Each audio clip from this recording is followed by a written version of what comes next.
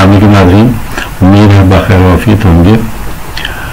S में अपने audited accounts को कैसे सबमिट किया जाता है, आज हम ये सीखेंगे। सबसे पहले तो आप E services dot S C C P dot G O V dot P K पे जाएँगे और वहाँ पर लॉगिन करेंगे। लॉगिन करने के बाद आपके पास ये प्रोसेस लिस्टिंग आ जाएगी। अपनी कंपनी में जब लॉगिन करेंगे तो इसमें राइट मोस्ट में सेकेंड जो प्रोसेस है that is filing of statutory returns इसको आप क्लिक करेंगे। इसको जब आप क्लिक करेंगे तो यहाँ पे डिफरेंट प्रोसेसेस आपके सामने आ जाएँगे, जिसमें क्वार्टरली अकाउंट्स की सबमिशन एनुअल अकाउंट्स की सबमिशन और कुछ दूसरे फॉर्म्स हैं।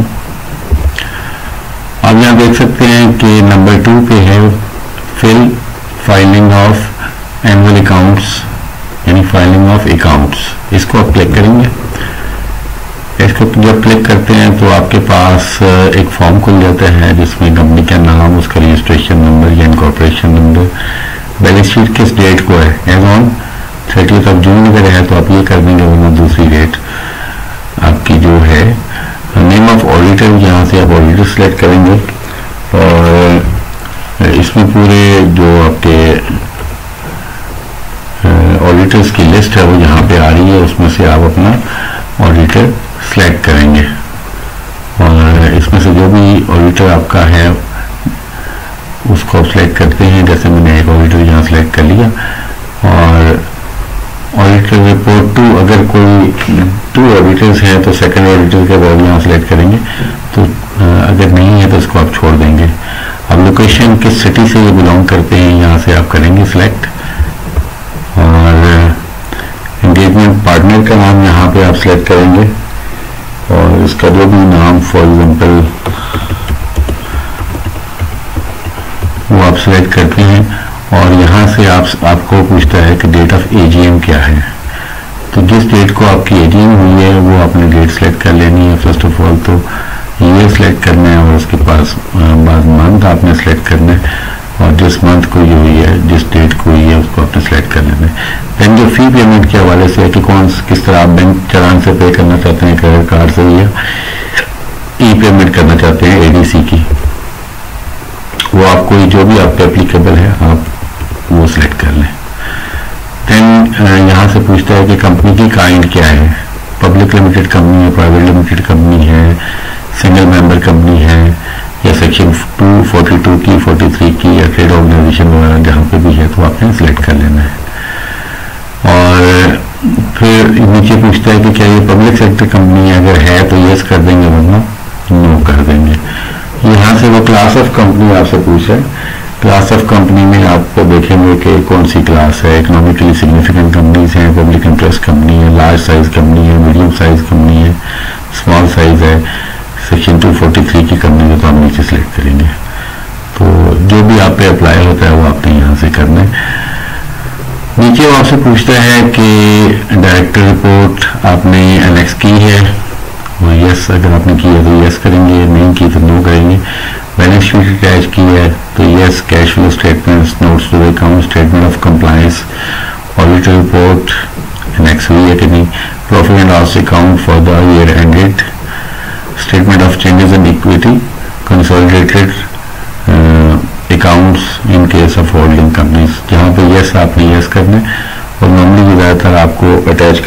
सिर्फ़ अगर ग्रुप ऑफ़ कंपनी नहीं है तो फिर होल्डिंग कंपनी या सबऑर्डिनेटेड कंपनी है तो फिर आप ये यस करेंगे नो करेंगे यहाँ पे। देन नीचे जो आपकी फाइनेंशियल स्टेटमेंट्स की जो रिजल्ट्स हैं, या जो स्नैपशॉट है, वो आप यहाँ पे मेंशन करेंगे। अब आपके जो प्रोसेस हैं, वो आगे हैं आप आगे हैं वापस प्रोसेस में। और इसमें आप देख सकते हैं कि you can update filing of accounts जो फॉर्म आपने अभी फिल किया है, ये आपके सामने आ जाएगा। और, ये आपके सामने सारा फॉर्म जो आपने फिल किया, ये आगे है। और इसको कंटिन्यू करेंगे तो वापस प्रोसेसेस की लिस्ट में आ जाएँगे। और नेक्स्ट आप, इसके साथ जो अटैचमेंट्स हैं, उनको देखेंगे। अब आप कहते हैं तो वन बाई वन क्लिक करके आप देख सकते हैं कि आपकी final filing of annual accounts का जो फॉर्म है वो भी आप देख सकते हैं। और इसको जब खोलेंगे तो ये इसके सामने आपका इस तरह का फॉर्म जो है वो सामने आ जाएगा। और उसके बाद इसको सेव आप कर देंगे। इस फॉर्म को सेव करने के बाद आप अगेन वापस आ जाएँगे। उसी प्रोसेस की लिस्ट के ऊपर। और अब उसके साथ जो अटैचमेंट्स हैं, वो आपने करनी है।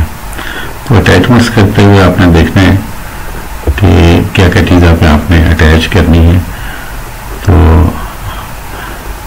यहाँ से आप अटैच को क्लिक करेंगे। अटैच को क्लिक करने के बाद आप चूज़ फ़ाइल पे आएँगे। और चूज़ फ़ाइल पे आने के बाद आपके पास इसके जो फाइनेंशियल स्टेटमेंट्स हैं, उसको आपने यहाँ पे अटैच कर देना है और ऐड को क्लिक करना है तो ये अभी अपलोड कर रहा है और ये आपके साथ अटैच हो जाएगा देन इसके बाद आपने अगर कोई और अटैचमेंट करनी है तो आप करेंगे।